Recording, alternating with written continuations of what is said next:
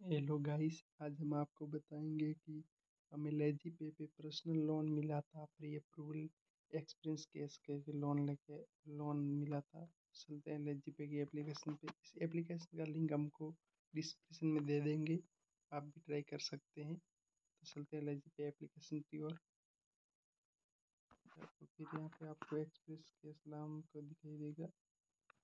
ये pre approval loan मिलता है। मुझे भी ऑप्शन आएगा चालीस हज़ार का, आप देख सकते हो। नाइन्थ मंथ का मैंने किस्त बनवाया है। और आप देख सकते हो, चालीस हज़ार मुझे अमाउंट मिल रहा था। एच की तरफ़ से नाइन मंथ किस्त है इसका और चार हज़ार नौ सौ नब्बे रुपये ऐसा किस्त आ रहा है। प्लीज़ आप भी लोन अप्लाई कर सकते हैं।